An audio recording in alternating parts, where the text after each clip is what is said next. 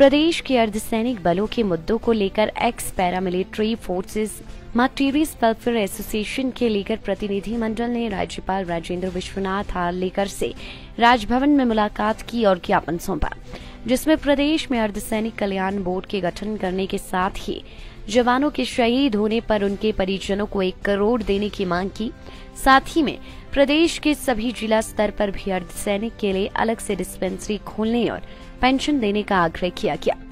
Association के महासचिव रणवीर सिंह ने कहा कि देश की सुरक्षा में अर्धसैनिक बलों का बहुत बड़ा योगदान है, लेकिन सेना की तरह उन्हें सुविधाएँ नहीं मिल पा रही है।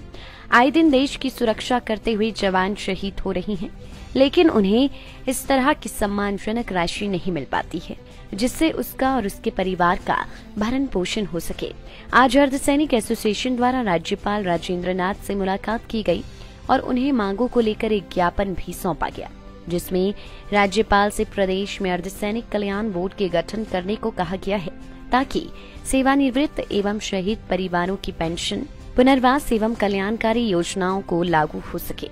शहीद परिवारों को मिलने वाली सहायता सम्मान राशि को एक करोड़ करने की गुहार लगाई, ताकि जिस जवान ने देश के लिए बलिदान दिया है, उसके परिवार के भरण पोषण में उपरोक्त मिली सम्मान राशि सहायक सिद्ध हो सके। और आज जो है महामहिम गवर्नर साहब से मिले पैरामिलिट्री वेटरन्स किस लिए? कि भाई जो आए दिन शहीद हो रहे हैं तो उन शहीद परिवारों को कम से कम शहादत में भेदभाव ना हो। कम से कम जिस जवान ने देश के लिए सुप्रीम सेक्रीफाइस किया तो कम से मिनिमम एक करोड़ रुपया उसके परिवार को समान राशि मिलनी चाहिए, राज्य सरकार का काम। आपने देखा, सैनिक कल्याण बोर्ड हर जगह फोर्स सेना के लिए, बड़े भाई हमारे। लेकिन अर्ध सेना आधे अधूरे ठगे से सुविधाओं से महरूम। हम चाहेंगे कि डिस्ट्रिक्ट लेवल पे अर्धसैनिक कल्याण बोर्ड का गठन हमने महामहिम को रिक्वेस्ट की।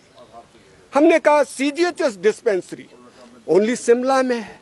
हमारे तो रिमोट एरिया कितना बड़ा है हिमाचल तो हम चाहेंगे कि डिस्ट्रिक्ट वाइज सीजीएचएस डिस्पेंसरी बनाई जाए, ताकि पैरामिलिट्री के जवानों को, परिवारों को, जो सरहद की चाक चौबन चौकसी कर रहे हैं, चौकीदारी कर रहे हैं आईटीबीपी के जवान, ये बीएसएफ के धधकते वो जो जैसलमेर बाड़मेर में।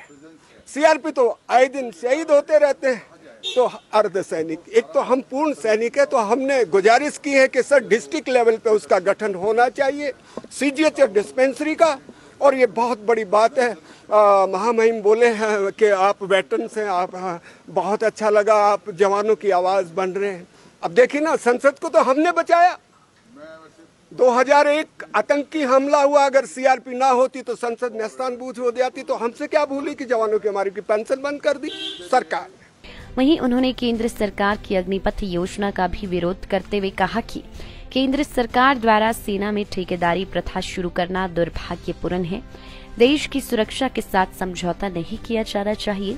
सरकार चार साल के लिए अग्निपथ के तहत युवाओं को भर्ती कर रही है, जबकि छह महीने इनको कदमताल में ही निकल जाएँगे। उन्होंने केंद्र सरकार से सेना में नियमित रूप से ही भर्ती करने की सलाह दी है।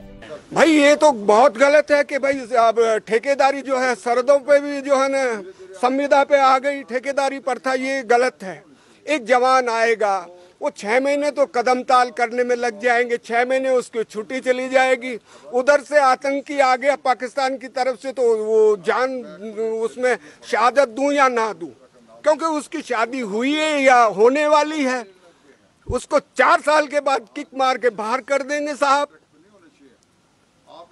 तो वो तो चिंता में रहेगा।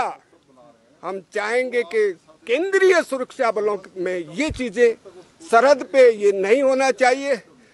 परमानेंट होना चाहिए साहब, ताकि हम अब सेना प्रमुख तो वो तो सरकार की उसमें है, लेकिन मैं तो अर्ध सैनिक हूँ। मैं सीआरपीएफ से रिटायर्ड हूँ, और हम नहीं चाहेंगे कि चाइना बॉर्डर पे चार साल के बच्चे को वहाँ पे वो चार साल के लिए लगा दें। परमानेंट होना चाहिए, ताकि हमारी सरहदों के साथ खिलवाड़ नहीं होना चाहिए साहब, ये बहुत ज़रूरी। लाइव टाइम्स टीवी के लिए शिमला से विक्रांत, बधन की रिपोर्ट आपके विधायक ने पिछले चार साल में क्या कुछ किया?